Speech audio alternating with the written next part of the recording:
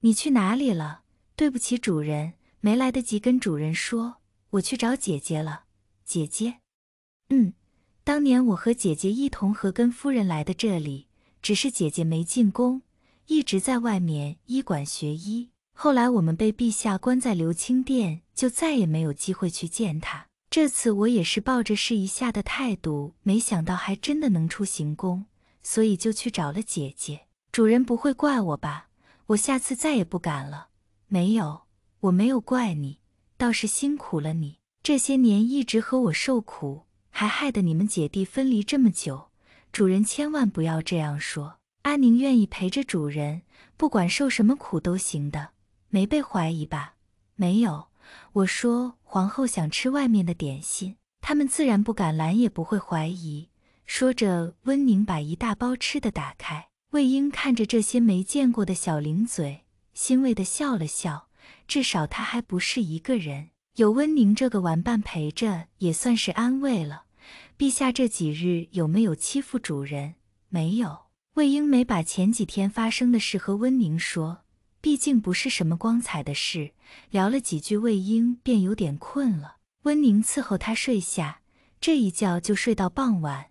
魏婴简单吃了几口，这屋子他实在待得烦闷，想出去走走，但想到陛下的人肯定会跟踪，便只在院子里走走，却没想到还会有人来拜访他。蓝湛第一次进这里来，打量了一下四周，最后看到树下站着的人。面无表情地走过去，魏婴看到是他，眼神亮了一下。每次见到这人，心里的感觉都不一样，对他魏婴生不起恶意来。尽管他是皇帝的儿子，他实在想不出这是因为什么。说到底，他还不懂那点心思是喜欢。蓝湛像是这无尽深渊里一束无名的光，尽管他依旧是那副高冷的模样。也不会阻止魏婴想要靠近的脚步。二皇子怎么来了？我也不想来，只是来还东西而已。魏婴眼神暗淡下来，他能清楚的看到蓝湛眼底无波的情绪。魏婴知道他们的身份，这仿佛是一道无法逾越的障碍，只能无措的伸出自己的手。蓝湛把东西放在他的手里，魏婴看了看，原来是自己随手刻的一只小兔子。小小的兔子摊在掌心上面，好像还有蓝湛的温度。蓝湛转身就要走，魏婴叫住了他：“母后还有事？没有，我只是想把这只兔子送给你，反正我也不缺这。不用，不喜欢。哦，这样啊。”魏婴立马转身，手里紧紧握着兔子，不想自己这副失落到想哭的样子被蓝湛看到。再次转过身来，蓝湛已经走了。魏婴松开手，看着送不出去的兔子，胸口闷闷的，随手就把东西扔了出去。没多久，他就后悔了。不管怎么样，蓝湛也碰过了的。朝着刚才扔的方向，魏婴又去找小小的玉兔子，安静的躺在草地上。魏婴捡起来，朝着霞光举起，兔子惟妙惟肖。为什么会不喜欢呢？或许只是不喜欢送兔子的人吧。避暑接近尾声，兰蒂终于出现了，满眼都是愧疚的对着魏婴道歉。面对皇帝的示弱，魏婴也不好揪着不放，给了个台阶，就算把那天的不愉快接过去了。兰蒂一高兴，晚上还准备了篝火晚会。魏婴小时候在塞外的时候见过，那时父亲和爹爹都在，以前的时光总是美好的。魏婴看着眼前跳动的火焰，一时的感慨让他牵动嘴角，同时也牵动了在座每个人的心。都说难得一见是美人笑，如今借着月色、篝火，还有美人，那些个见不得光的思绪被打开，透出贪得无厌的欲望。魏婴还不明白自己现在已然成了那些俗人脑补的对象。魏婴端起酒杯，小口品尝了一下。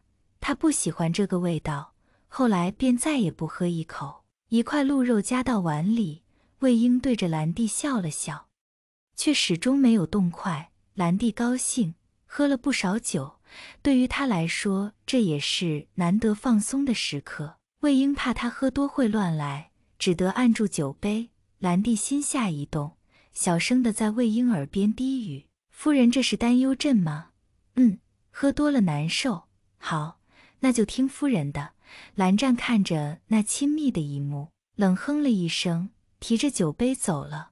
魏婴自然知道他离席了，因为他的眼神总是有意无意的看向蓝湛的方向。偶尔几次四目相对，魏婴都能从蓝湛的眼里看到厌恶的情绪。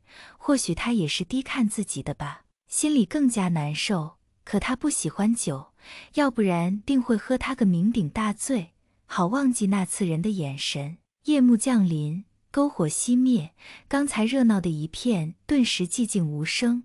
兰蒂还是醉了。魏婴安顿好，他便再无睡意。他此刻比任何时候都要清醒，也比任何时候更加想要见到蓝湛。明明知道这种想法不能再滋长，可他就是控制不住。情窦初开的少年总是爱意满满，这情动的没有章法，动得不管不顾。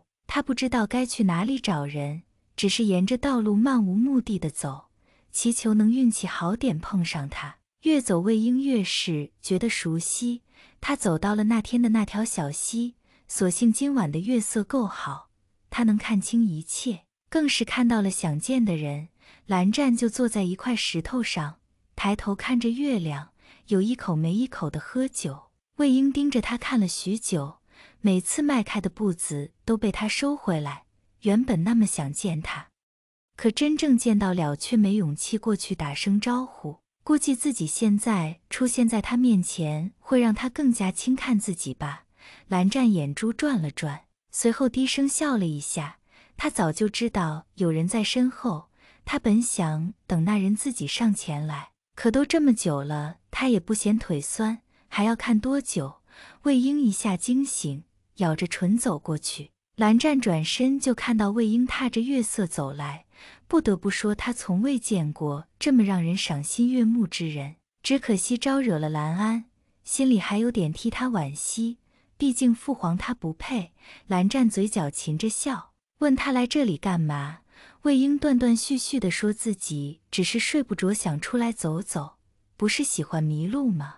这次倒是能找准方向。魏婴被他说的脸红，却不敢说自己就是来找他的。如果蓝湛问找他干嘛，难道说只是想见见你这样的荒唐话吗？那一定会吓着他的。二皇子叫我蓝湛，毕竟以你现在的辈分，可以直呼我的名讳的。你是不是讨厌我？说不上讨厌，但和蓝安有关系的我都不喜欢。魏婴心里苦笑，亲耳听到这句不喜欢，他不知道心里是疼多一点，还是释怀多一点。第一次这么想要靠近一个人，结果被嫌弃的一无是处。或许他该放下那虚无缥缈的念头，专心为父母报仇，把心里那一点点小火苗硬生生给阻断。只是蓝湛这条路好像行不通了，他不会帮自己的，因为他不像是会给自己招惹是非的人。从行宫回来后，魏婴没有再见过蓝湛，后来才知道他已经回了自己的封地。这次也是因为皇帝生辰才回来的，自然不会待太久。魏婴压下心里的难受，去找了太子。东宫不比其他地方，这里也不该是魏婴来的地方。毕竟后宫和臣子之间还是没有来往的好，不然被有心人发现会惹来祸端。可魏婴在乎不了这些了。皇帝近日来越来越放肆，他快要支撑不住了。他要早点查清真相。如果真的与皇帝有关，那他拼了命也要和他同归于尽，这是他活下来的承诺。不然他早就随父亲他们去了。只是想着没人给他们报仇，作为儿子心里会有遗憾。蓝曦臣正在书房，可他不是处理事情，而是作画，而那画中人正是魏婴。他口口声声的母后，画笔描绘着那人的轮廓。蓝曦臣伸手抚上去，心里思绪万千，多想让他属于自己。从见到的第一眼，他就有这个想法了。魏婴的美与众不同，他见过的人不少，唯独魏婴让他念念不忘，是见一眼就能刻在心上的。魏婴，你早晚是我的。画作完成，蓝曦臣挂在墙上看了好一会，直到门外有人出声：“殿下，皇后来了。”谁？皇后。蓝曦臣愣了一秒，然后收起画，让人把她带来书房，同时心里在打鼓：魏婴居然亲自来找他。不过这早就在他的意料之中了，不是吗？魏婴被引进书房，然后房门被关上，抬眼就看到蓝曦臣那副招牌的笑容。直让人脊背一寒，魏婴也不露怯，回以一个微笑。母后请上座。魏婴走过去坐好，他也不拐弯抹角，直接说明自己的来意。他相信以蓝曦臣的实力，不会不知道他来是有所求，而不是单单来联络亲情的。能为母后做事是曦臣的荣幸，乐意至极。好，那我们算是达成共识了。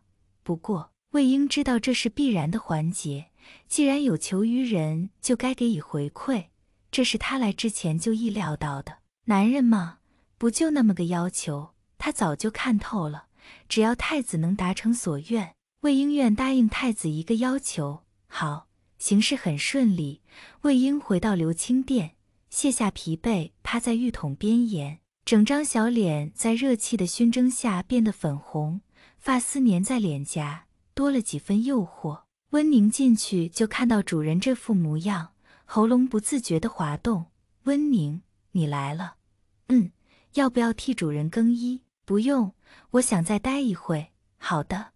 魏婴闭上眼睛，白皙的手臂就这么随意地搭在一旁，水滴顺着指尖往下滴落。温宁看得吃了，从小他就知道主人好看。温宁，我需要的要你姐姐能配得出来吗？说到要温宁，赶紧把怀里的东西拿出来。魏婴看到后来了劲，他没想到温情真的能配出这种药，这简直就是他的救命符。如果真的有用，那他就不用那么操心了。这真的有效果吗？嗯，姐姐说保证有用。这个服用后会让人陷入幻境里，像身临其境一样。好，魏婴颤抖着接过来。多日来的阴霾总算透进一点光。如果再想不到办法，他可能真的会被兰安欺负。现在好了，不过他还是有点担心，万一效果不行可怎么办？温宁像是看出他的担心，提议要不让他先试试。魏婴自然不同意，他不会拿温宁来试药的。今晚陛下肯定会过来，你去准备吧。不管结果如何，我都要试一试。兰安一如既往的过来魏婴这里歇息，眼看着人已经沐浴好，兰安那点心思又被勾了出来。他发现魏婴真的是越来越好看了，更加让他心猿意马。阿宪，过来。魏婴走过去，对着皇帝笑了一下。这可是要了兰安的老命了，迫不及待想要做点什么，不然他要疯了。陛下别急，先陪阿羡喝一杯，不然阿羡紧张。好，阿羡说什么就是什么。一炷香后，魏婴沉着脸听着兰安嘴里的那些污言秽语。